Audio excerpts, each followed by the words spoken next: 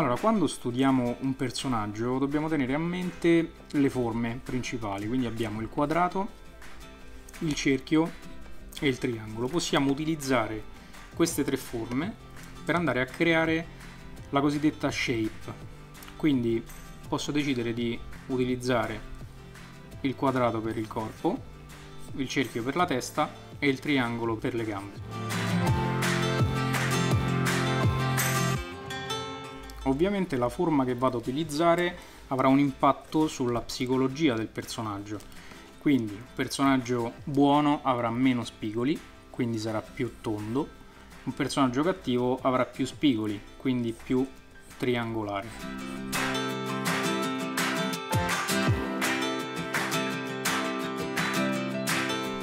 Stesso discorso per i volti posso giocare con le forme cercando prima la forma del viso e poi le linee di costruzione. Più o meno a metà si trova la linea degli occhi e poi posso decidere dove mettere la linea del naso e la linea della bocca. Più muovo queste linee, più il mio personaggio sarà divertente, poco noioso.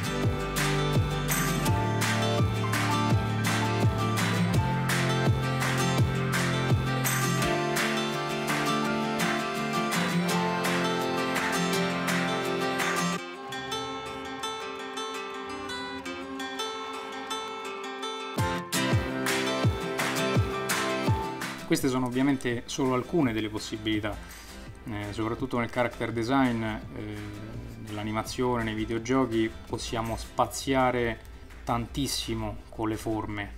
Quindi l'importante è seguire le regole fondamentali, ossia tenere a mente le forme circolari, le forme quadrate e le forme triangolari, mischiarle assieme e divertirsi mentre, mentre lo si fa, non avendo paura del, dell'errore, non pensando a sbagliare ma cercando di spaziare il più possibile,